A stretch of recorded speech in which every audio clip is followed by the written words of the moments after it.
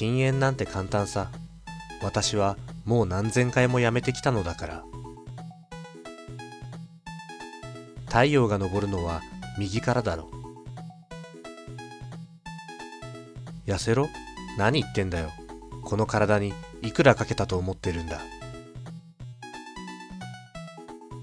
若さを保つ秘訣は正直に生きること、ゆっくり食べること、十分睡眠をとること、よく働くこと、神への祈りを欠かさないこと、そして年齢を偽ることよ。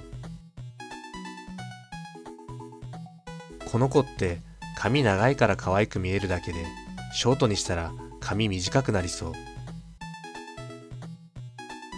枕からおっさんの匂いがするようになったけど、枕も年取るんだな。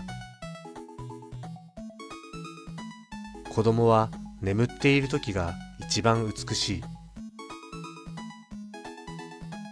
まず人の名前を忘れ、次に顔を忘れる。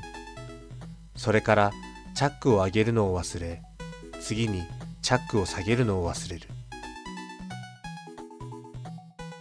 トイレでタバコ吸うな。喫煙所でうんこするぞ。友人たちが若く見えるよと褒め出したら、あなたが年を取った印だ。医者は人間を弱いもの、弁護士は人間を悪いもの、牧師は人間を愚かなものと見る。人生にはただ三つの事件しかない。生まれること、生きること、死ぬことである。生まれるときは気がつかない。死ぬときは苦しむ。そして生きているときは忘れている。恋は人を盲目にするが、結婚は視力を戻してくれる。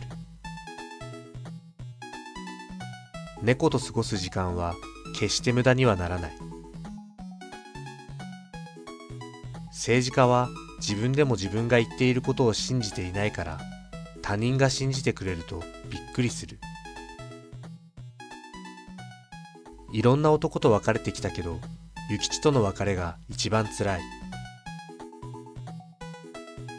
明日からやろうと40回言うと夏休みは終わります。女だって人間なんだ。汗もかくし、醜くもなるし、便所へも行かなければならないんだ。一体君は何を期待しているんだバラ色の霧の中に飛んでいる金色の蝶々か。面倒だ。信じてしまおう、ウィキペディア。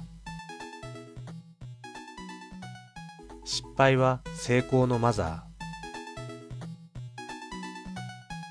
ー。髪の毛がどんどんソロデビューしていくんだけど。私はただ寝ているのではない。偉いことを考えようと思って寝ているのである。じゃあ、ラッキーセブンの3。私は豚が好きだ。犬は我々を尊敬し、猫は我々を見下す。しかし、豚は我々を対等に扱ってくれる。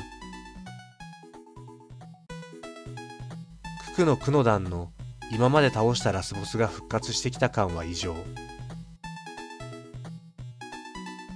怖いのが半分、恐ろしいのが半分でしょうね。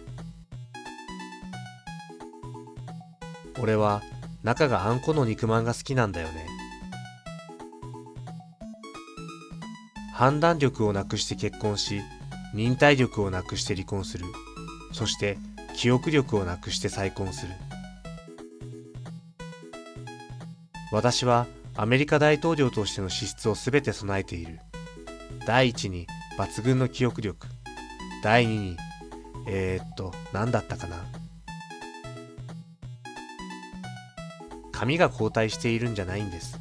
私が前進しているんです。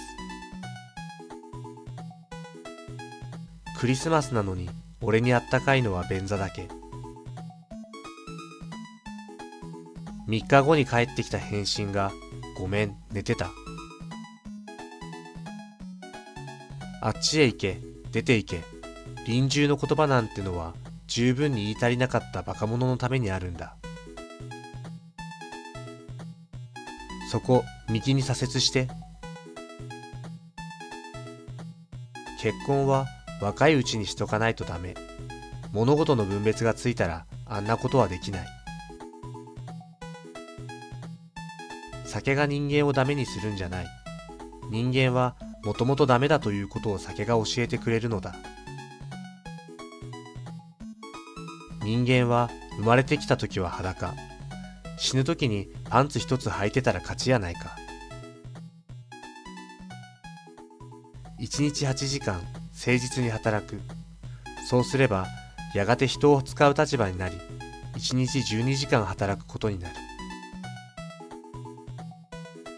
本当にプラダが必要なら生まれた時に持っているはずです。昨夜も午前2時に寝て午前5時には起きましたからね。5時間も寝れば十分です。美学的に完璧なものが世の中に2つある。時計と猫だ。食べ物に対する愛より誠実な愛はない。俺の部屋が汚いんじゃない。この世界が美しすぎるんだ。カイロに書かれている低温やけど注意は関西弁じゃありません。神様は全く信じていないんだけどお地蔵さんを蹴れるかっていうと無理だし賞味期限切れのおにぎりを踏めるかっていうとそれも無理。私はボクシングで人生が360度変わりました。台風はいいよな進路があって。本は人に貸してはならない。貸せば戻ってこないからだ。私の書斎に残っている本といったらそうやって人から借りたものばかりだ。私の将棋は王将を取られてからが強いんですよ。ハゲのどこが恥ずかしい。ハゲになる理由ってのは神様が髪の毛なくてもお前は十分って認めてくれてるってことだぞ。酒は人類にとって最大の敵かもしれない。だが聖書はこう言っている。汝の敵を愛せと。法律は蜘蛛の巣である。大きな虫は突き抜け小さな虫だけが引っかかる。